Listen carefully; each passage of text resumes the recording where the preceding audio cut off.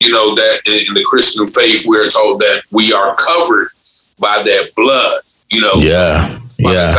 Oh, brushes with death because I had that brush with death, but then the subtitle is brushes the blood of Jesus because I, I feel that it was Jesus, God, the angels in the room who allowed me to, to walk out of that alive. So that that's what that that the, the the book came about where one day I was reading John. I never forget I was reading John and I heard something clear as day say right.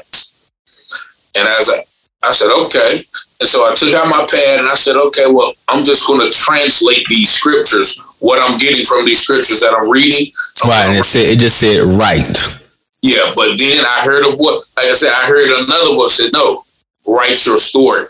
Mm. And so I immediately got up and went and sat on my mother had a computer in, in, in, her, in her office room and I sat right up the right at the computer and started started right from that instance. You know, I, I started right. I started from the end and wrote the book in you know in reverse to how I got to that point in life. But that was a therapy for me because I had to. I, I wrote the book. It's a factual novel, but I wrote in the third person with me being character. So as I'm writing the book, I'm able to look at my life from the outside in mm. And really realize, okay, wow, that's where I made that mistake. Mm-hmm. That did that. You know what? Okay, that's that's what led me to this. You know, so I I was able to analyze my life and really see the mistakes and the, the mistakes that I made, and also the, the several chances I've got. Hi, this is DJ from What's Up with DJ and I hope you enjoyed the clip you just watched.